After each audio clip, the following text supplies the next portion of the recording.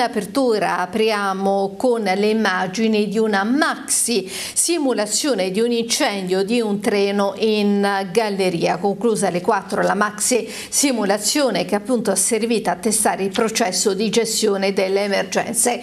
Le immagini ci sono state fornite dalla tua, un test importante per la tua, quello che si è concluso alle 4 di questa mattina nella stazione di rete ferroviaria italiana di San Vito Lanciano. Si legge nella nota un test altrettanto importante per rete ferroviaria italiana RFI, ma anche per tutta la macchina dei soccorsi che ha avuto l'opportunità di scandagliare in dettaglio uno scenario incidentale ferroviario piuttosto complesso. La stazione di San Vito Lanciano di RFI diventa il centro nevralgico della simulazione. Oltre 100 persone coinvolte dalla prefettura di Chieti al gruppo FSI. Ci sono i vigili del fuoco del comando provinciale di Chieti, il servizio di emergenza sanitaria del 118 di Chieti, il compartimento di polizia ferroviaria per le Marche, l'Umbria e l'Abruzzo, il comune di San Vito Chietino, il NUE 112 Regione Abruzzo, la protezione civile abruzzese e le forze dell'Orientate. Intanto state vedendo le immagini e vi ricordo che si tratta di una simulazione. La tua con il proprio materiale rotabile e il personale operativo e gestionale è l'impresa ferroviaria oggetto dell'esercitazione.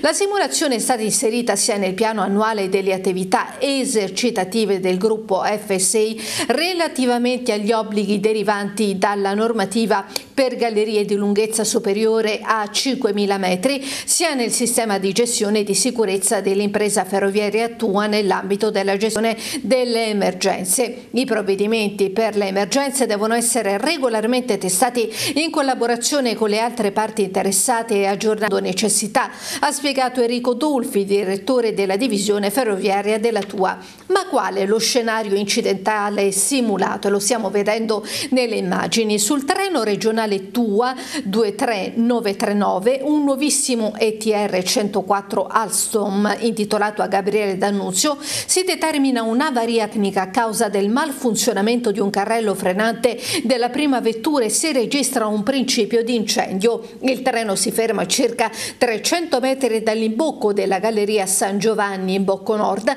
senza superare il picchetto limite delle manovre della stazione RFI di San Vito Lanciano e lancia dunque la chiamata di emergenza. All'interno del treno sono presenti il macchinista, il capotreno e una trentina di passeggeri. Il macchinista rimane intossicato, c'è da gestire una situazione complessa nel cuore di una galleria nel quale tra l'altro i passeggeri devono essere coordinati, tranquillizzati, guidate. Sono fasi molto delicate. Il capotreno della tua attiva l'emergenza, il DCO di RFI mette in moto la macchina dei soccorsi dunque l'intervento in galleria da parte dei vigili del fuoco con un mezzo bimodale del comando provinciale di Chieti e personale del 118, tre ore circa, nelle quali si concentrano tantissimi aspetti di sicurezza e non solo. Questo scenario simulato, conclude Enrico Dolfi, direttore della divisione ferroviaria della Tua, ci permette di testare in campo una serie di procedure fondamentali nelle nostre attività di sicurezza. Lo ribadiamo ancora una volta,